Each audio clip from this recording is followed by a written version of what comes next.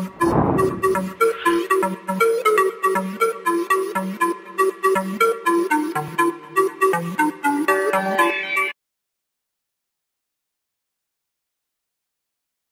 watching porn and satisfying yourself can reduce the chances to fornicate or commit adultery, why not watch it?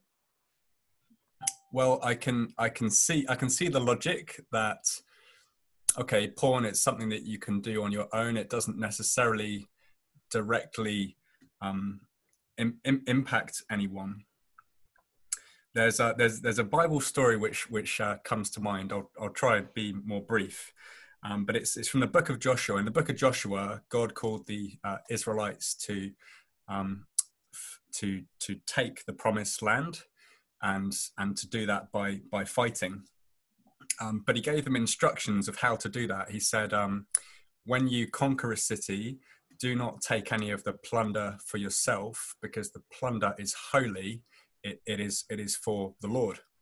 And there was a guy called uh, Achan, and he, he he did take some of the plunder for himself and and hid it away no one else could see other than his own family and because of this sin um, israel started to lose um, battles that they were fighting in. And it, and it was only when achan kind of uh, repented of that and was punished for it that that israel can can move on. Um, and there's there's a biblical principle that whatever we, we do in secret will be will be revealed. So like our, our secret devotional life with god whatever we do there it, it will come out in in some way and i think that there was an idea in the question that we can somehow control sin and and george put it very very well that in the cs lewis quote that um, nobody just grows overnight, but in the same way, nobody falls overnight.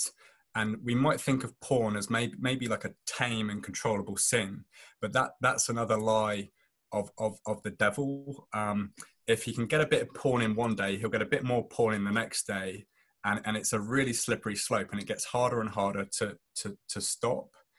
Um, and then the other thing, just I'd add on, is if if we're th- if we're trying to think, okay, what sin can I get away with? What folly can I get away with? That's quite a negative way to think. And I'd encourage people to say, look, how can I give my best for Christ? How can I be most like him rather than like, what can I get away with? Okay.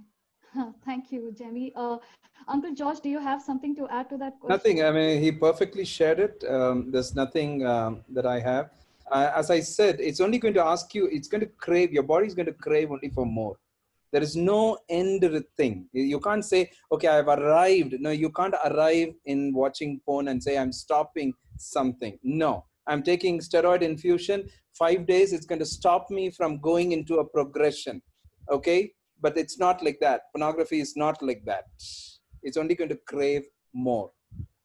Yeah, you cannot use one sin to stop another sin. So Yes. So uh, my uh, next question would be, is it okay to watch porn with your spouse to spice up your marital sex life? Jamie saying this. For me, there are three angles in this. The first angle is, why would I even watch someone who's been abused to enjoy an intimacy that is very pure with my wife? why would i even watch some videos of somebody going through such abuse to enjoy a pure intimacy uh, with my wife. Two the moment we wire ourselves to get our wiring fulfilled from an external source not from the god given sex inside marriage it's going to become a dangerous slope. It's going to become a dangerous slope. The third very important principle is that I don't want my wife to feel that I'm being turned on because of a video. No, I want her to feel I'm turned on because of her, because of her beauty, because of who she is.